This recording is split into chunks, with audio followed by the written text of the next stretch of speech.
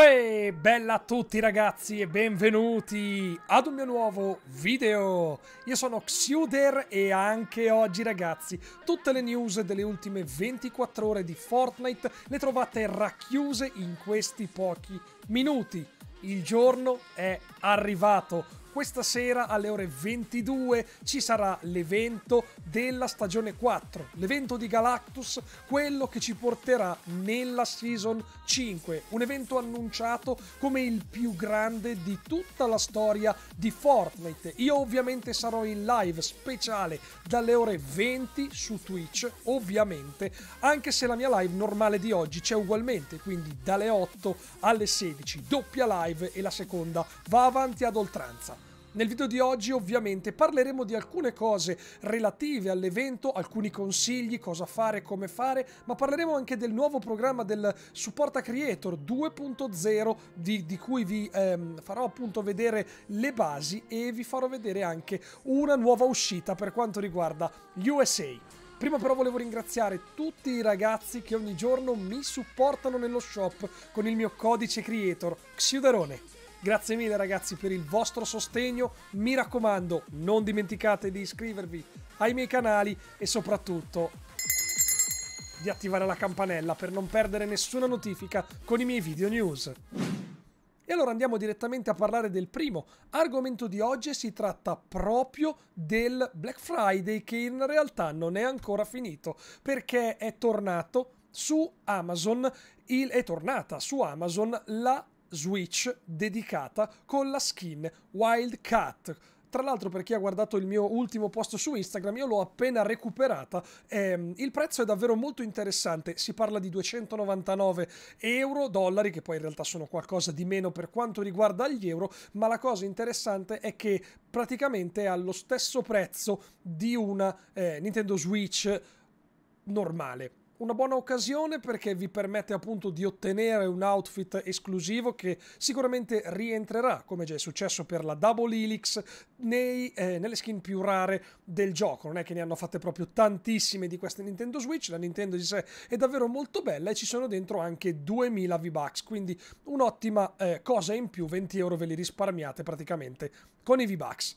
Andiamo avanti a parlare del prossimo argomento di oggi perché voglio anche dirvi che ci sono alcune scadenze per quanto riguarda la riscossione di determinate cose. E sì ragazzi, perché le skin, gli spray hanno comunque una scadenza, per legge deve essere così. Il primo ragazzi che va a scadere è il Lama Spray, questo ve lo ricordate? Se non ricordo male, ehm, il Fortnite Lama Spray va a finire a dicembre 2020, quindi il 31 è l'ultimo ultimo giorno per eh, poterlo riscuotere. Ma ce ne sono altri tre. La Neoversa, ragazzi, anche lei il 31 dicembre 2020, quella che ha dentro anche 500 V-Bucks, il Deep Freeze Bundle che invece scadrà addirittura il 13 novembre 2028 e il Dark Fire Bundle che invece andrà fino a ottobre del 2029. È una cosa veramente pazzesca perché scadenze così lunghe vogliono dire che Epic Games ha assolutamente in mente di portare il proprio,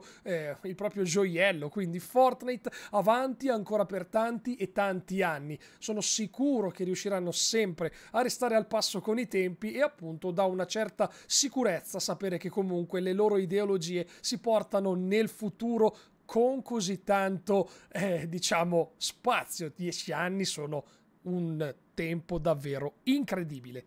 Andiamo avanti a parlare del prossimo argomento di oggi perché arrivano le prime notizie ufficiali da parte di Fortnite Status per quanto riguarda il Supporta Creator 2.0. Quindi verranno introdotte delle novità, cambierà anche la dashboard perché tutti i ragazzi, tutti noi che abbiamo un Supporta Creator, ovviamente sapete che abbiamo una pagina dedicata, ehm, ci saranno delle eh, modifiche che ancora in realtà non ho visto bene in italiano italiano sono vorrei prima vedere la, il cambiamento per potervele dire. Vi ricordo ehm, dei dettagli abbastanza importanti.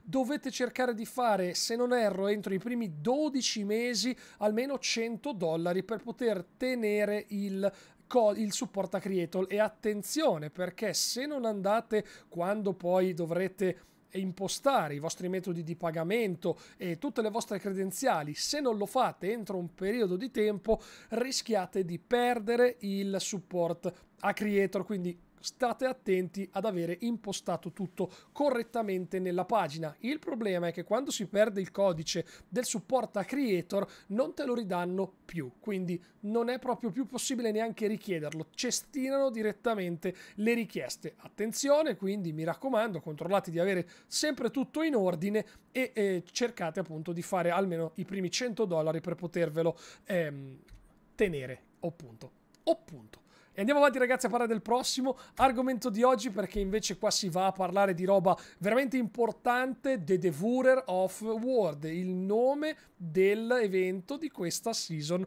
4, il divoratore di mondi. Come vedete qua stiamo eh, guardando la miniatura di come sarà probabilmente nella sezione delle LTM la, ehm, la LTM appunto dedicata per l'ingresso nel... Ehm, nella mappa per l'evento. Ci sono degli, degli, accorgimenti da fare. Io vi invito oggi, appena potete, appena siete in grado di entrare su Fortnite, restate su Fortnite. Ragazzi, non uscite da Fortnite perché rischiamo davvero, rischiate e rischiamo di non poter più rientrare. Più passano le ore, più gente entra su Fortnite, più i server stanno lì a traballare. Secondo me stasera ci sarà il disastro incredibile. Arriva quindi l'ultimo teaser ufficialmente dalle news ehm, su Twitter di Fortnite che dice The Battle Bus is locked and loaded. Now we wait for the big guy. Quindi ormai l'autobus è pronto, è bloccato, chiamatelo come vi pare. Stiamo aspettando il big guy, il ragazzone. Già abbiamo visto